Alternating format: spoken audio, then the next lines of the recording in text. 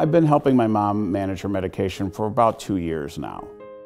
I got to say, I don't think we really had a good system. Everyone I asked said, oh, you get a box and you put the pills in each box. And I was like, that was even more complicated. It was difficult for me to remember whether I took the medicine or not. Our options were really at the point where we were going to have to get assisted living and we going to have to have more intrusive home care.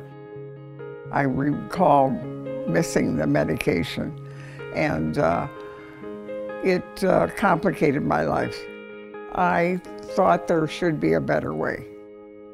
My son told me about PillPack and I've been taking it ever since. The pills are kept separately and I know what I'm supposed to take each day. PillPack allowed for my mom to stay in her home for a longer period, which is what she really wanted and what we all wanted. My doctors see a difference in me taking PillPack. It feels very good because I have improved my health and uh, uh, therefore I don't need as many visits.